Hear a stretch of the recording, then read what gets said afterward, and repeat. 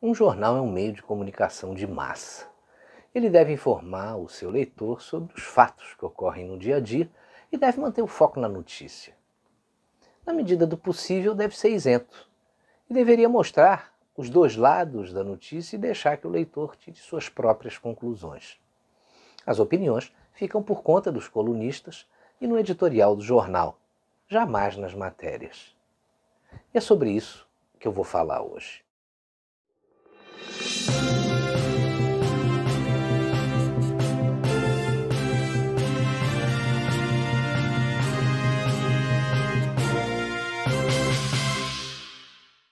Os jornais, em qualquer lugar do mundo, deveriam atender a quatro critérios: abrangência, para que os seus conteúdos sejam acessíveis ao público em geral, a periodicidade, que é a publicação em intervalos regulares, a atualidade, para apresentar informações e os fatos na medida em que eles acontecem, e a universalidade, porque um jornal deve cobrir um número grande de assuntos que com certeza vai valorizar o seu conteúdo.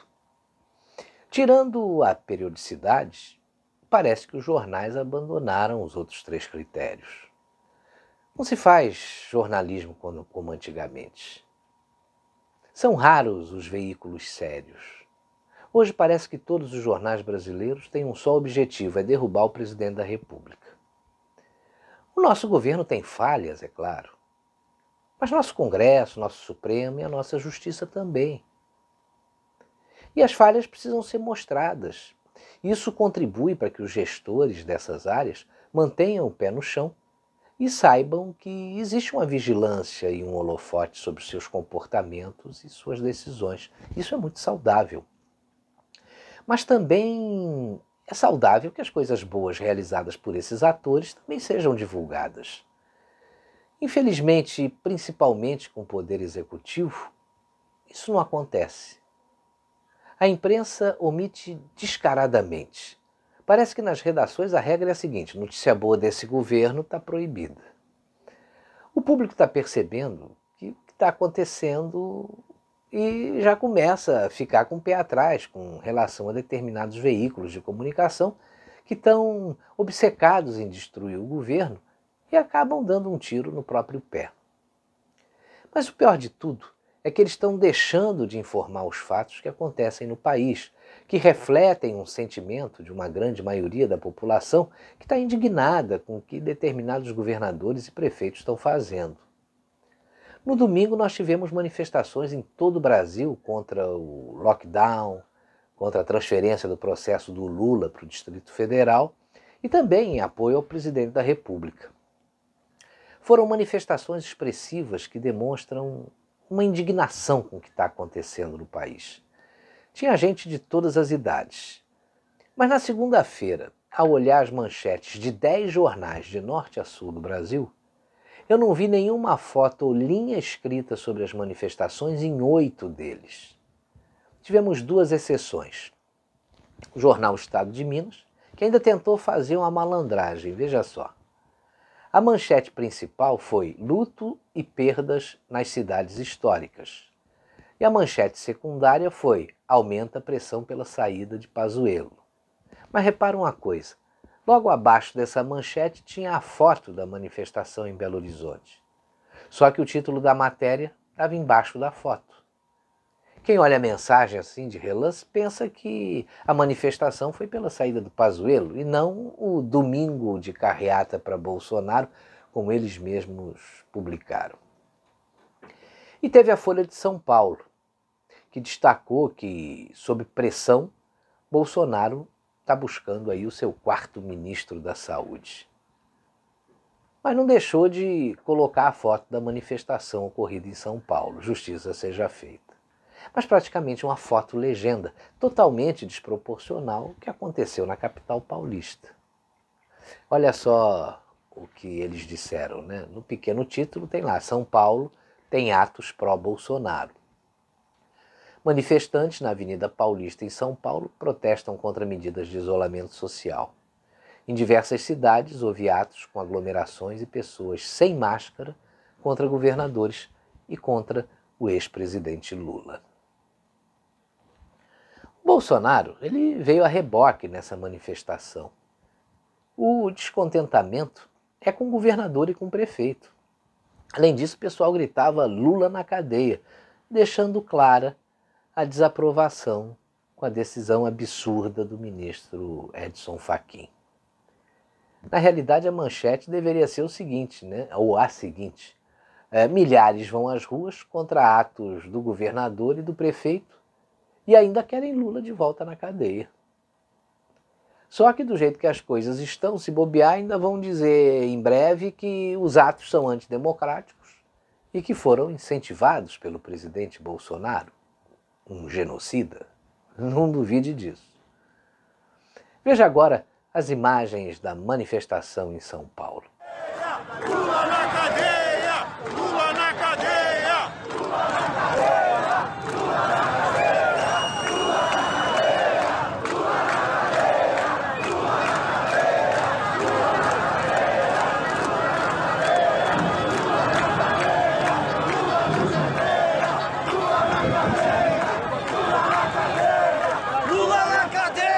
Agora, as manchetes do concorrente da Folha, o Estado de São Paulo.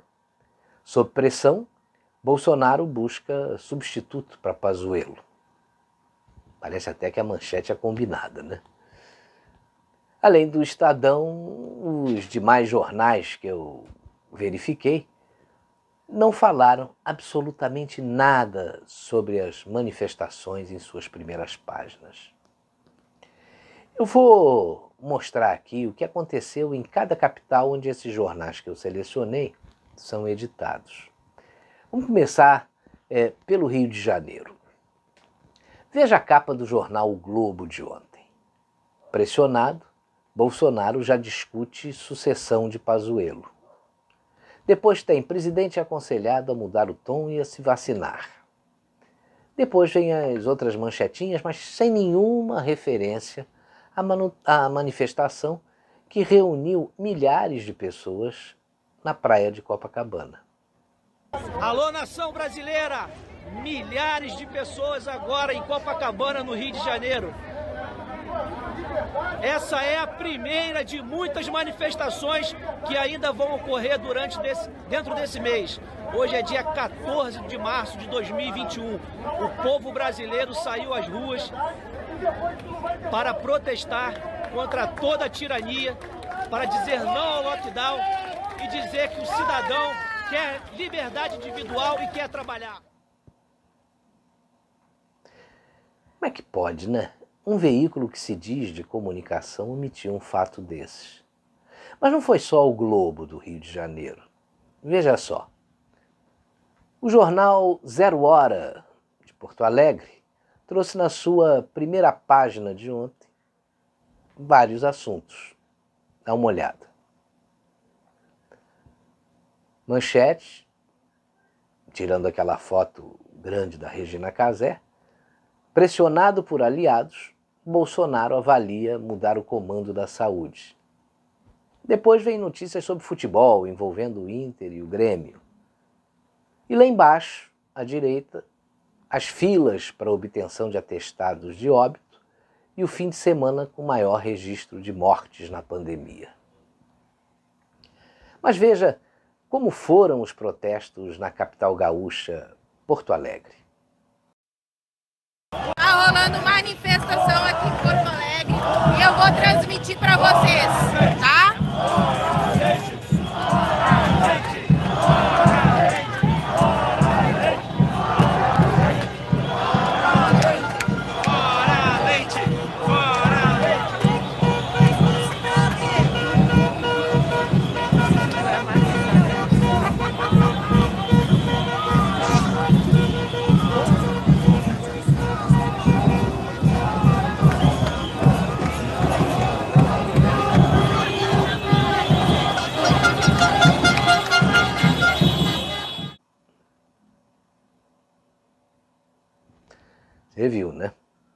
Olha agora a primeira página do Correio Brasiliense de ontem.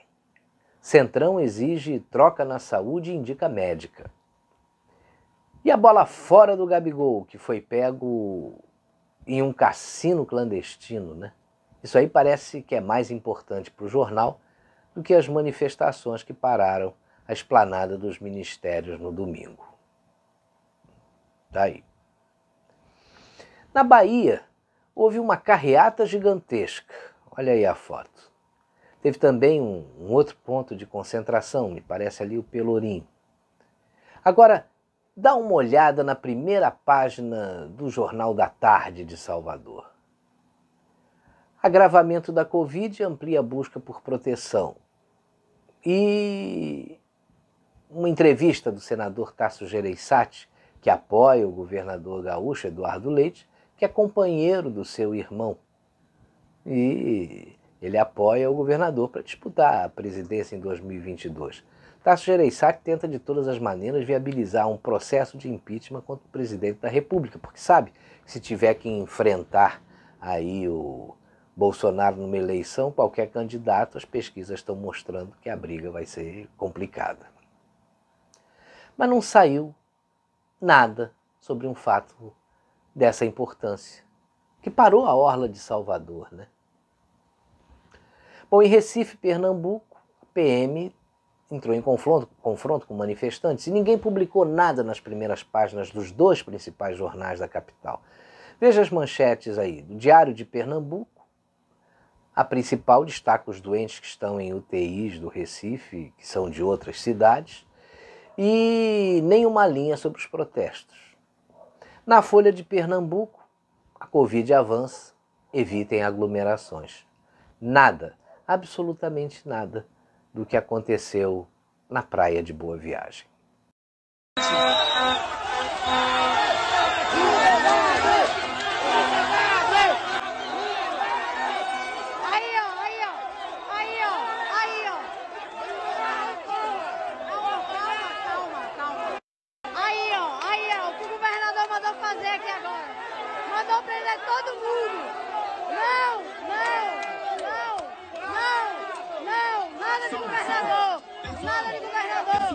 Comum e do normal, nós temos direito de nos manifestar. Aí, ó, o governador mandou a polícia prender todo mundo aqui, ó.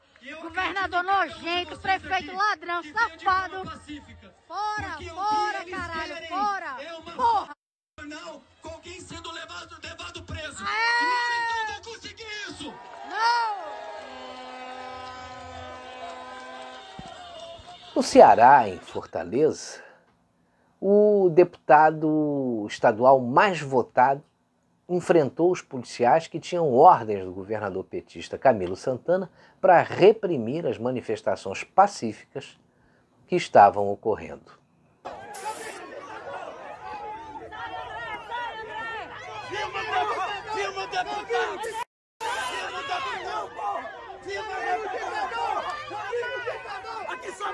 Tem cidadão! Camilo ditador! Aqui só tem cidadão! A gente que disse só tem cidadão! Senta, senta, senta! Deputado! Aqui só tem cidadão! Deputado! Não tem mais cidadão!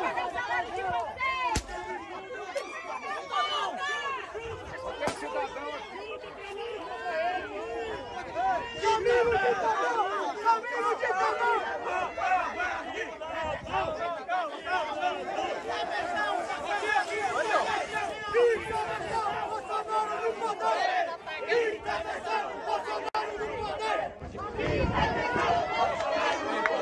Aqui em Fortaleza, o governador está mandando a todo vapor os seus comandados, a sua polícia, para prender, para oprimir, para perseguir cidadão. Não podemos. Olha isso aqui, ó. Camilo ditador! Estamos aqui ó, em Fortaleza. Isso é ordem do governador Camilo Santana, do PT. Prender cidadão.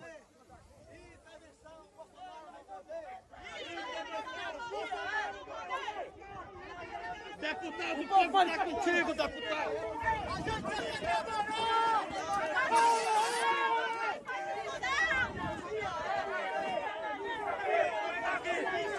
Aqui só tem cidadão, porra! Aqui só tem cidadão, porra! Aqui só tem cidadão! Aqui só tem cidadão! Camilo ditador! Camilo ditador! Camilo ditador! Camilo ditador!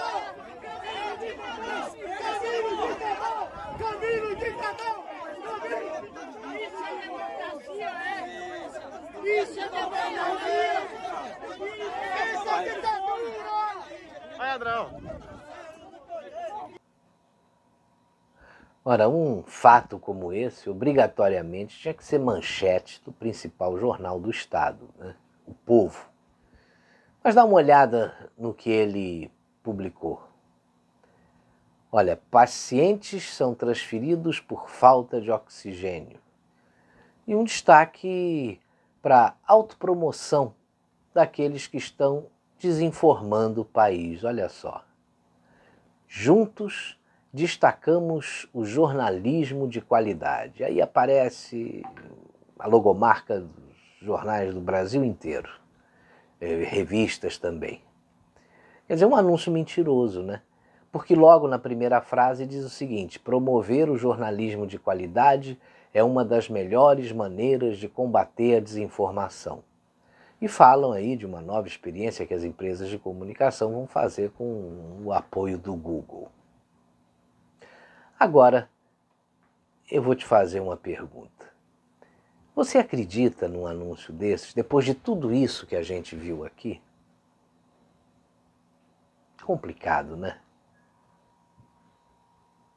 Não, não dá para acreditar. Parece que hoje em dia nem para forrar lata de lixo servem os jornais já que os sacos biodegradáveis fazem esse papel muito melhor, né?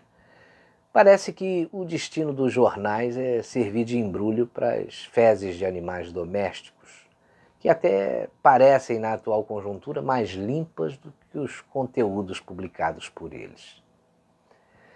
Você agora sabe que quem lê jornal sabe menos. Por isso, se você quiser ficar bem informado, Procure fontes confiáveis de informação e pare de comprar e ler jornal. Isso está fazendo mal à saúde.